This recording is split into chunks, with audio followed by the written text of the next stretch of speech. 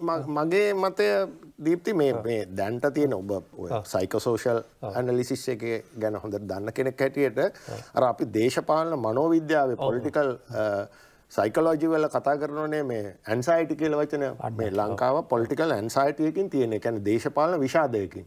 යන ඒ විෂාදය තියෙන්නේ බංකොලොත් වුණා. මම පවුලක් හැටියට කුටුම්බයක් හැටියට මම බංකොලොත්වෙන හරි මගේ අනාගතය පිළිබඳව අභිලාශයන් කඩාවෙටලා තියෙන. එතකොට ඒගොල්ලන් කවුද අපිට මේ වැරද්ද කරේ. මේ වැරද්ද කරේ උඹලා ඒකන්නේ දෙසිය විසි පහ එමනත්තන් දේශපාලන පන්ති ඉඳපන් උඹලට අපි මේ පාර පාඩමක් උගන්නනවා. ඒ පාඩමක් උගන්නන්න තමයි ඔවුන් තෝරගන්න ජනතාව යුක්තු පෙරුණ. ඒකට රැශනල්ල යන්න ඒ විෂාදය තිබුණම තර්කයක් නෑ. ඒ එහෙම තමයි යෝ ඉතින් ඒ අතාර්කික තෝරා ගැනීමත්තම මෙවර උග දෙනෙක් යන්නේ. කොහොමද අපි ඒකට කණ්ඩනයක් සාපේක්ෂවසින් ලබා දෙන්නේ. එකන මේක වා කියන කවන්දය වගේ කතාවන්න එකැන ඔළුවන්න තිය තරහ ගිහිල්ල තියෙනවා. සෝෂල් මීඩියත් තියෙන ඕන තරන් තමන්ගේ හෝපය ප්‍රකාශ කර ගණ්ඩ ඒක ට්‍රෙන්ඩ් එකක් වගේ ලිබික ලිබිඩෝ එකක් නෑ ඒ ලිබිඩෝක වැඩ කරන.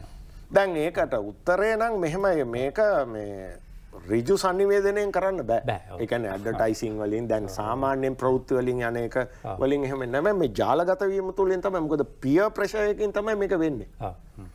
එකන අර අපි රිජු සංනිවේදනය සහ අද ලෝකෙ නෂ්ටී කරණය වෙච්ච සමාජයක තියෙන සංනිවේදනය වෙන්න දැ මට ප්‍රෞත්ති ලෝකෙන් එනවා ප්‍රෞත්ති ඊට පස්සේ මට ඔයාල වගේ උපීනියන් මේකස් ලගින් අහන්න ලැබෙන මේ වගේ ප්‍රෝග්‍රම් එක.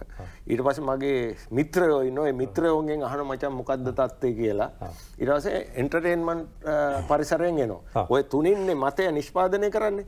හැබැ මගේ තර්කයවෙන්න මේ ඇන්සයිට කන්ටෙක්ස්ට එකේ අර ප්‍රෞති ලෝකෙන් එන එක මගේ ඔල්ලුට යන්න එතකොට මගේ මිත්‍රයන් සහ ඔපිනියන් මේකස් අතර තමයි මේ වැඩේ සිද්ධවෙන්.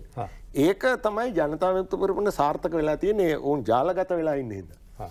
එක්ස ජාතිය පක්ෂය වේවා සජබය වේවා ඒගලන් ජාලගත වෙලා නෑ එක රිජු සංනිවේදනය කරන්න. මේ වෙලා රිජු සංවිධනයට තැනක් නෑ. එතර ඔබ කියන්නේ අවසාන සති දෙක ඉතාම තේරනාත්මකයි අවසාන සතිය. සතිය.